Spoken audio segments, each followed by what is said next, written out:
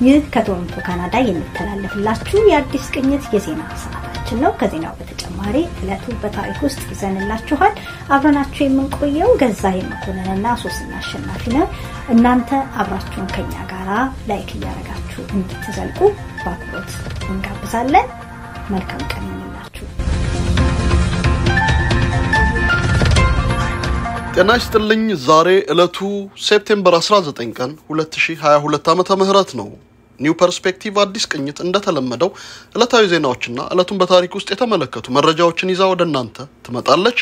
እናንተ እስከ ፍጻሜው ድረስ አብራችሁን like፣ share፣ subscribe እና comment በማድረግ አብራችሁ እንድትዘልቁ በአክብሮት እንጋብዛለን። በቅድሚያ 1893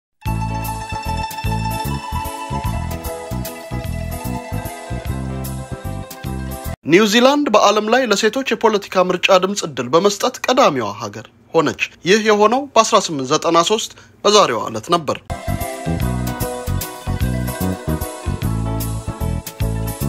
'28 ሚኪ ማውስ የተሰኘው የዋልት ዲዝኒ የካርቱን ገጸ ባህሪ Steamboat Willie በተሰኘ ፊልም ቀዳሚ እይታውን ለዓለም ይፋ አደረገ። ይህም የሆነው በ1928 በዛሬዋ ዕለት ነበር።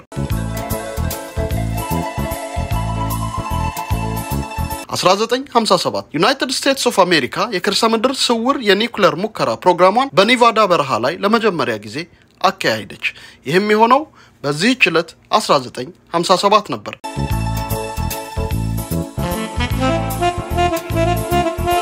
1985 የ CBC የምርመራ ጋዜጠኝነት ዝግጅት The Fifth Estate ያቀረበውን ዘገባ ተከትሎ የካናዳ መንግስት የአንድ ሚሊዮን የቱና ጣሳ እሽጎች ከመደርደሪያዎች ላይ እንዲወገዱና እንዲያዙ ትዕዛዝ አስተላለፈ። ይህም የታሸጉ አሳዎች መርዛማ ንጥረ ነገርና የበሰበሰ አሳ ታሽጎባቸዋል በሚል የተላለፈ ትዕዛዝ ነበር። ትዕዛዙን ተከትሎም ቱናዎቹ ከመደርደሪያ ላይ እንዲወገዱ ተደረገ። የአሳ ማጥመድ ሚኒስትሩ ጆን ፍሬዘር ከአራት ቀን በፊት ምርቱ እንዳይወገድ ተከላክለው እንዳልነበር ሁሉ ከአራት ቀናት የመንግስት ትዕዛዝ በኋላ በፈቃዳቸው ስልጣናቸውን ለቀዋል። ይህ ሁሉ የሆነው በ1985 በዛሬዋ ዕለት ነበረ።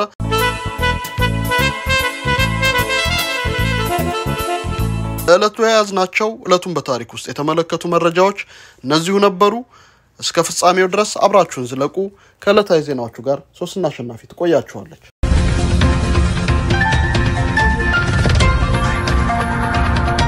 ለዕለቱ ከያዝናቸው መካከል ዓመታዊዎቹ የ Polish ና የዩክሬን ፌስቲቫሎች በቶሮንቶ ምዕራብ ጫፍ በሳምንቱ መጨረሻ በድምቀት ተካሂደዋል። የቶሮንቶ ፊልም ፌስቲቫል ተጠናቀቀ። ንጉስ ቻርልስ ምን አይነት ንጉስ ይሆኑ ይሆን የሚለው ጥያቄ የብዙዎች ጥያቄ ሆኗል። የንግስቲቷ የመጨረሻ ስንብት፣ እነዚህና ሌሎችም አሉን። አብራችሁን እንድትቆዩ እንጋብዛለን። መልካም ቀን ይሁንላችሁ።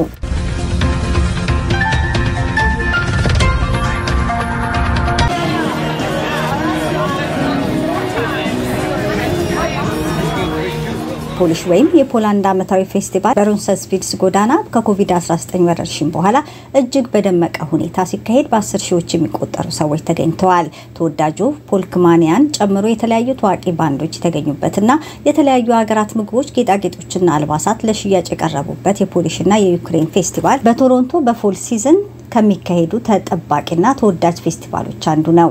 የዩክሬን ፌስቲቫልም በብሉርና ረኒሜድ ሲካሄድ በርካቶች የተገኙ ሲሆን በዩክሬን ላይ በጦርነቱ ምክንያት ለተጎዱ ወገኖችም የድጋፍና የተለያዩ መሰናዶዎች ተካሂደዋል።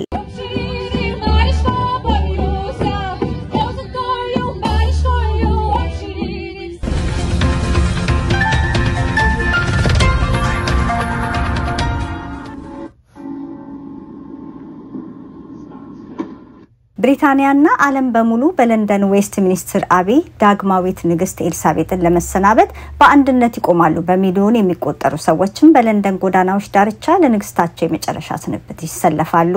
ንግስቲቷ September 8 ቀን 2022 በተኙበት ነው ያረፉት እናም ይህን ዓለም የተሰናበቱት። ዛሬ ዌስትሚንስተር አዳራሽን በሮች በመዝጋት ነው የቀብር ስነ ስርዓቱ የሚጀመረው። በዚያ ለአራት ቀናት የተቀመጠውን የንግስቲቷን የሬሳ ሳጥን ለመሰናበት የተሰለፉ ሰዎችም የመጨረሻ ስንብት ያደርጋሉ። ሁለት ሺህ የሚሆኑ ሰዎችም በዌስትሚንስተር አብይ አዳራሽ ይታደማሉ። ከነዚህም የካናዳው ጠቅላይ ሚኒስትር ጀስቲን ትሩዶ እና የአሜሪካው ጆ ባይደን ይገኙበታል።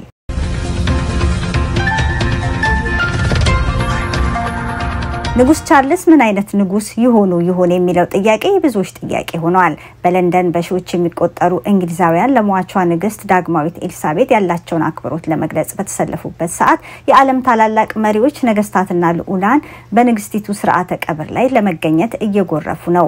በአሁኑ ሰዓት ሁሉም እንግዶች በለንደን ተጠናቀው ገብተው በዛሬው ዕለት የሚካሄደውን የቀብር ስነ ስርዓት ይካፈላሉ ተብሎ ይጠበቃል።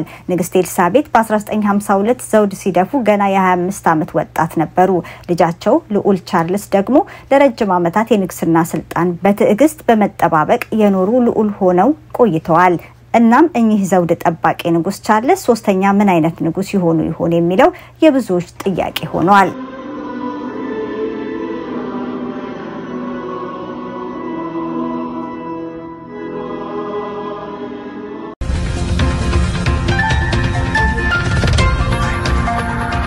የቶሮንቶ ፊልም ፌስቲቫል ተጠናቀቀ።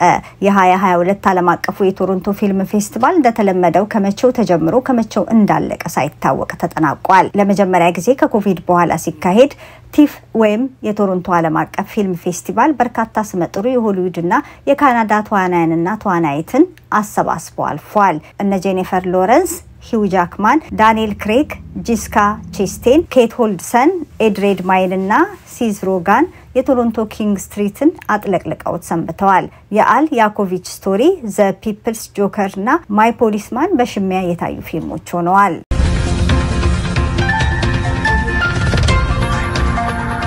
ብሪታንያና ካናዳ የኤርትራ መንግስት ጦር ሰራዊት ለዘመቻ እንዲንቀሳቀስ ጥሪ ያደረገው በሰሜን ኢትዮጵያ ድጋሚ ላገረሸው ጦርነት ምላሽ ነው ማለታቸውን የፈረንሳዩ ዜና ወኪል ዘግበዋል።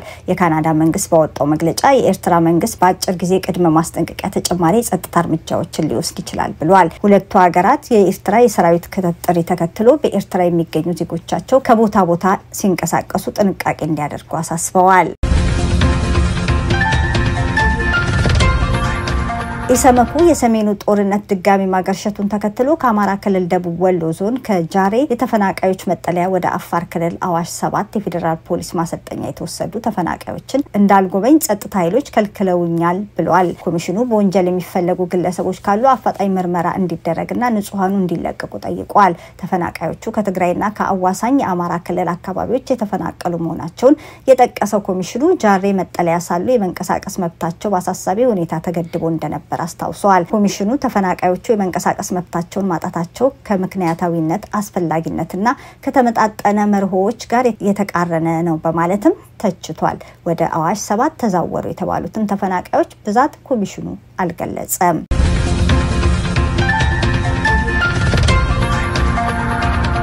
የሶማሊያው ፕሬዝዳንት ሀሰን ሞሐመድ የሶማሌላንድ ራስ ገዝን የመገንጠል እንቅስቃሴ ሶማሊያ አትቀበለውም በማለት መናገራቸውን የሶማሊያ ዜና ምንጮች ዘግበዋል። ፕሬዝዳንቱ በአሜሪካ ለሚኖሩ ሶማሊያውያን ባደረጉት ንግግር ሶማሌላንድ የራሷን እድል በራሷ ለመወሰን የምታደርገውን እንቅስቃሴ እንድታቆም ግን የሕግና ዲፕሎማሲ ግፊት አናደርግም ብለዋል። ሞሐመድ የሶማሌላንድ ራስ ገዝ መገንጠል ሶማሊያንና ሶማሊያውያንን ክፉኛ የሚከፋፍል ክስተት ይሆናል በማለት በንግግራቸው አስጠንቅቀዋል ሲል ዋዜማ ሬዲዮ ዘግቧል።